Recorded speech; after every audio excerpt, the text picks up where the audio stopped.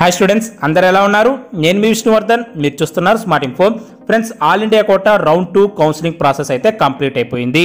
అయితే ఎంసీసీ వాళ్ళు మనకి ఈ ఆల్ ఇండియా కోట రౌండ్ వన్లో అలాగే ఆల్ ఇండియా కోట రౌండ్ టూలో ఎంతమంది క్యాండిడేట్స్ మెడికల్ కాలేజెస్లో అడ్మిట్ అయ్యారు అనే దానికి సంబంధించి వాళ్ళ వెబ్సైట్లో ఒక లిస్ట్ అయితే రిలీజ్ చేశారు.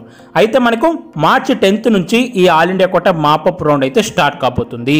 అయితే ఈ అడ్మిటెడ్ లిస్ట్ని అనలైజ్ చేశాక ఈ మాపప్ రౌండ్కి ఇంకా మనకి చాలా ఎంబీబీఎస్ సీట్స్ అనేవి వేకెన్సీగా ఉన్నాయి. సో ఇప్పుడు నేను చెప్పేది డీమ్డ్ సీట్స్ గురించి కాదు. మనకి గవర్నమెంట్ ఎంబీబీఎస్ సీట్స్ ఉంటాయి కదా. ఆ గవర్నమెంట్ ఎంబీబీఎస్ సీట్స్ గురించి నేను ఈరోజు ఈ వీడియోలో చెప్తున్నాను. ఆ గవర్నమెంట్ ఎంబీబీఎస్ సీట్స్ ఇంకా చాలా అంటే చాలా వేకెన్సీస్ ఉన్నాయి. ఈరోజు నేను ఈ వీడియోలో ఆ కేటగిరీ వైజ్గా all India quota mop up రౌండ్కి ఎన్ని ఎంబీబీఎస్ సీట్స్ వేకెన్సీగా ఉన్నాయి? అలాగే ఎక్స్పెక్టెడ్ కట్ ఆఫ్ ఎంత? ఓకేనా? All India quota mop up రౌండ్కి cut off అనేది ఎంత తగ్గచ్చు అనేది కూడా ఈరోజు ఈ వీడియోలో చెప్తాను. అలాగే ఈ all India quota mop up రౌండ్కి ఎవరు ఎలిజిబుల్ ఎవరు ఇన్ఎలిజిబుల్ అనే దానికి సంబంధించి కూడా రూల్స్ అండ్ రెగ్యులేషన్ సంబంధించి కూడా నేను ఈరోజు ఈ వీడియోలో చెప్తాను. ఓకేనా? ఈ వీడియోని చివరి వరకు చూడండి. మధ్యలో స్కిప్ చేసుకుంటూ చూడకండి. మీకు ఈ వీడియో నచ్చితే లైక్ చేయండి. అలాగే ఈ కౌన్సిలింగ్కి సంబంధించి ఏం అప్డేట్స్ వచ్చినా నేను వీడియోస్ చేస్తుంటాను. మీరు ఆ వీడియోస్ మిస్ అవ్వకూడదు అనుకుంటే మన ఛానల్ని సబ్స్క్రైబ్ చేసుకోండి. ముందుగా మనం ఈ all India quota mop up రౌండ్కి rules and regulations చూసుకుంటే ఒకవేళ మీరు already all India quota round వన్కి లేకపోతే రౌండ్ టూకి రిజిస్ట్రేషన్ చేసుకొని మీకు గనక రౌండ్ వన్లో లేకపోతే రౌండ్ టూలో సీట్ రాకపోతే మీరు మళ్ళీ మాపప్ రౌండ్కి ఫ్రెష్గా రిజిస్ట్రేషన్ చేసుకోవాల్సిన అవసరం లేదు. మీరు మాపప్ రౌండ్కి వెబ్ ఆప్షన్స్ పెడితే చాలు మీరు మాపప్ రౌండ్కి ఎలిజిబుల్ అవుతారు. ఓకేనా? మీరు already all India quota round one లేకపోతే రౌండ్ టూకి రిజిస్ట్రేషన్ చేసుకొని మీకు రౌండ్ వన్ ఆర్ రౌండ్ టూలో సీట్ రాకపోయింటే మీరు మాపప్ రౌండ్కి మళ్ళీ ఫ్రెష్గా రిజిస్ట్రేషన్ చేసుకోవాల్సిన అవసరం లేదు. మీరు వెబ్ ఆప్షన్స్ పెట్టుకుంటే చాలు.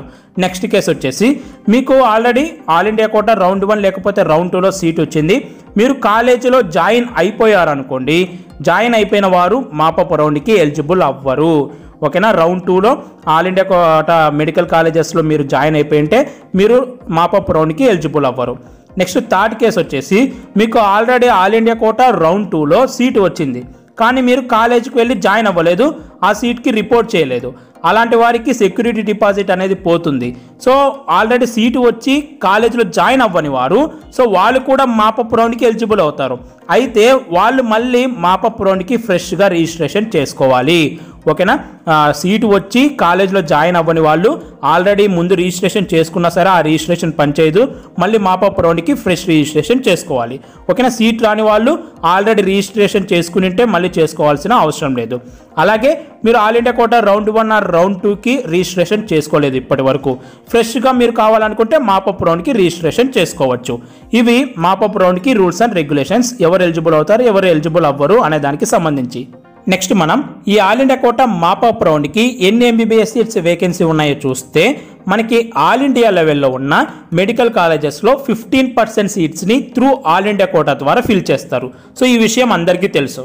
అలాగే ఎయిమ్స్ కాలేజెస్లో మొత్తం అన్ని సీట్స్ని మనకి ఈ ఆల్ ఇండియా కోటా ద్వారానే ఫిల్ చేస్తారు. అలాగే జిప్మర్లో ఉన్న ఓపెన్ ఓపెన్ కేటగిరీ సీట్స్ని ఈ ఆల్ ఇండియా కోటా ద్వారానే ఫిల్ చేస్తారు. అలాగే బిహెచ్ ఓపెన్ సీట్స్ని కూడా ఆల్ ఇండియా ద్వారానే ఫిల్ చేస్తారు. అయితే ఈ ఆల్ ఇండియా కోటాలో మనకి ఆల్ ఇండియా లెవెల్లో ఉన్న గవర్నమెంట్ కాలేజెస్లో ఫిఫ్టీన్ పర్సెంట్ సీట్స్ని మనం ఏమంటామంటే all India quota fifteen percent seats అంటాం. నెక్స్ట్ మనం అలాగే ఈ ఎయిమ్స్ జిప్మర్ బిహెచ్యు ఈ కూడా ఈ గవర్నమెంట్ సీట్స్ని కూడా ఈ ఆల్ ఇండియా కోటా ద్వారానే ఫిల్ చేస్తారు కదా. అయితే ఈ ఎయిమ్స్ జిప్మర్ బిహెచ్యు ఏఎంయు వీటికి సపరేట్గా ఒక పేరు అయితే ఉంది. వీటిని ఏమంటామంటే ఓపెన్ కోటా సీట్స్ అంటాం.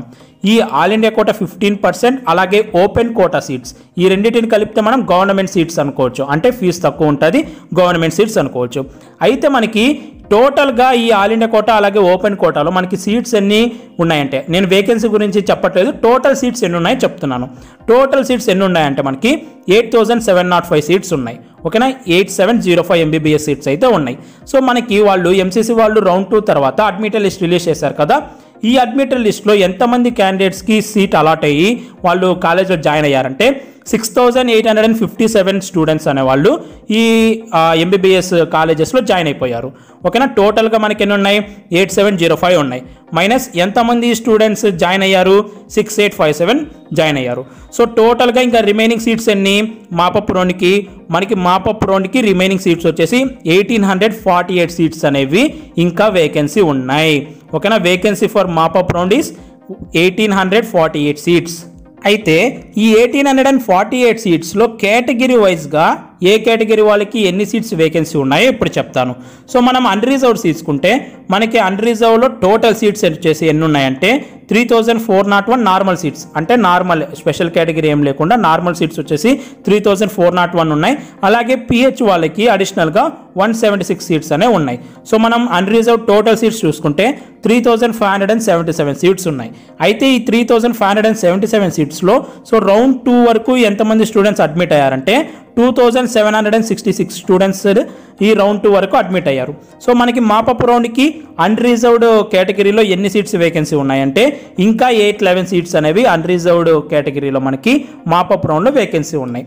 నెక్స్ట్ మనం ఈడబ్ల్యూఎస్ చూసుకుంటే ఈడబ్ల్యూఎస్ మనకి టోటల్గా ఎయిట్ సిక్స్టీ వన్ సీట్స్ అనేవి ఉన్నాయి. ఓకేనా? ఈ ఎయిట్ సిక్స్టీ వన్ సీట్స్లో సో మనం రౌండ్ వరకు రౌండ్ టూ వరకు చూసుకుంటే సెవెన్ టెన్ స్టూడెంట్స్ అనేది ఆల్రెడీ కాలేజెస్లో జాయిన్ అయిపోయారు.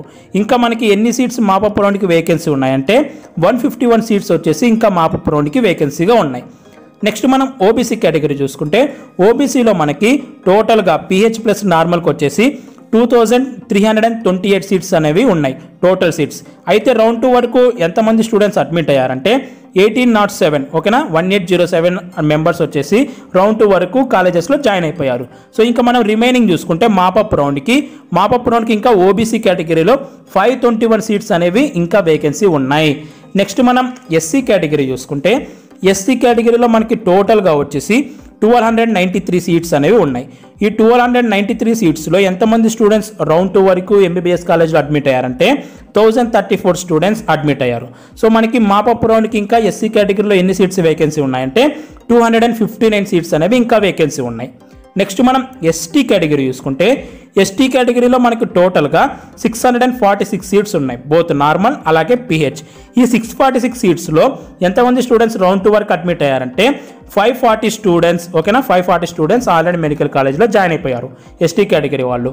ఇంకా మనకి ఎస్టీ కేటగిరీలో మాపప్ రౌండ్కి ఎన్ని వేకెన్సీ ఉన్నాయంటే వన్ నాట్ సిక్స్ సీట్స్ అనేవి ఇంకా మనకి మాపప్ రౌండ్కి వేకెన్సీ ఉన్నాయి ఎస్టీ కేటగిరీలో ఇలా మీకు కేటగిరీ వైజ్గా మాపపురంలో ఇన్ని వేకెన్సీ సీట్స్ అయితే ఉన్నాయి. సో మనం టోటల్గా చూసుకుంటే eighteen hundred and forty eight seats అయితే మాపప్ వేకెన్సీ ఉన్నాయి.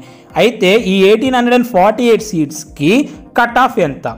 ఓకేనా? కేటగిరీ వైజ్గా మాపప్ ఎక్స్పెక్టెడ్ కట్ ఆఫ్ ఎంతనో ఇప్పుడు చెప్తాను. ఓకేనా మనకి ఇన్ని సీట్స్ వేకెన్సీ ఉన్నాయి కాబట్టి ఫస్ట్ మనం ఎస్టీ కేటగిరీ చూసుకుంటే ఎస్టీ కేటగిరీ వాళ్ళకి ఈ మాపప్ రౌండ్లో కట్ ఆఫ్ వచ్చేసి four hundred and sixty nine marks అని నేను అనుకుంటున్నాను. ఓకేనా ఎవరికైతే four hundred and sixty nine అని అబవ్ ఉంటాయో వాళ్ళకి మాపప్ రౌండ్లో సీట్ వస్తుందని అయితే నేను అనుకుంటున్నాను. నెక్స్ట్ ఎస్సీ కేటగిరీ వాళ్ళకి four hundred and eighty four marks అనేవి ఈ మాపప్ రౌండ్లో కట్ ఆఫ్గా రావచ్చు అని నేను అనుకుంటున్నాను. నెక్స్ట్ మనం ఈడబ్ల్యూఎస్ చూసుకుంటే ఈడబ్ల్యూఎస్ కేటగిరీ వాళ్ళకి five hundred and ninety six marks ఈ మాపప్ రౌండ్కి కట్ ఆఫ్గా రావచ్చని నేను అనుకుంటున్నాను.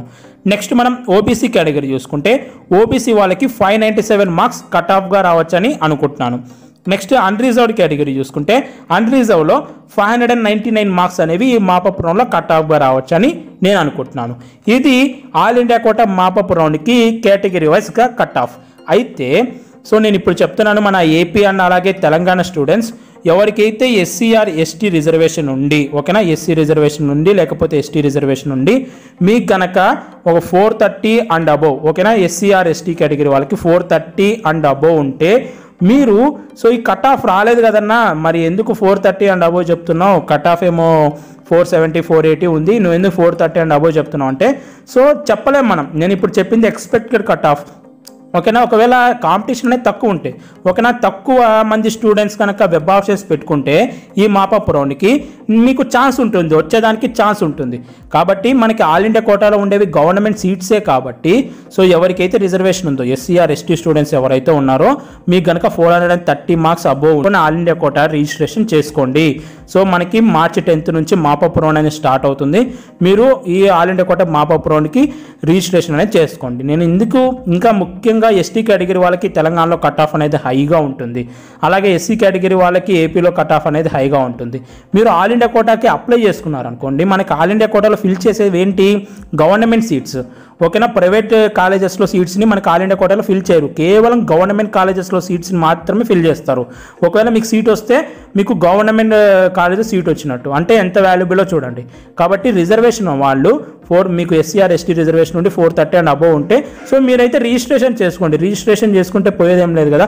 సో మనకి వన్ క్రోర్ ఎంబీబీఎస్ సీట్ అనేది కూడా వస్తున్నట్టు కదా. కాబట్టి రిజిస్ట్రేషన్ అయితే కంపల్సరీగా చేసుకోండి. ఇంత పర్టికులర్గా చెప్తున్నానంటే మీరు అర్థం చేసుకోండి. నెక్స్ట్ అలాగే ఈ యూఆర్ అలాగే ఓబీసీ అలాగే ఈడబ్ల్యూఎస్ రిజర్వేషన్ ఓకేనా ఈ ఈ కేటగిరీ వాళ్ళు యూఆర్ అన్రిజర్వ్డ్ అలాగే ఓబీసీ ఈడబ్ల్యూఎస్ ఉన్న వాళ్ళు ఫైవ్ ఫిఫ్టీ అండ్ అబోవ్ ఉంటే మీరు ఇంకా రిజిస్ట్రేషన్ చేసుకోకపోతే రిజిస్ట్రేషన్ అనేది చేసుకోండి. ఓకేనా ఇది మాపప్ రౌండ్కి సంబంధించి. ఈ మాపప్ రౌండ్ తర్వాత ఇంకా ఏమైనా వేకెన్సీ ఉంటే మళ్ళీ మనకి స్ట్రే వేకెన్సీ రౌండ్ కూడా ఉంటుంది. సో ఆ రౌండ్ గురించి నేను మళ్ళీ తర్వాత చెప్తాను. సో ఇది ఈ మాపప్ రౌండ్కి సంబంధించి రూల్స్ అండ్ రెగ్యులేషన్స్ అలాగే కేటగిరీ వైజ్గా ఎన్ని సీట్స్ వేకెన్సీ ఉన్నాయి అలాగే కేటగిరీ వైజ్గా కట్ ఆఫ్ సో ఈ నా అనాలిసిస్ మీకు నచ్చింది అనుకుంటున్నాను. సో నేను ఇంతగా చెప్పినందుకన్నా ఈ వీడియోకి ఒక లైక్ అయితే చేయండి.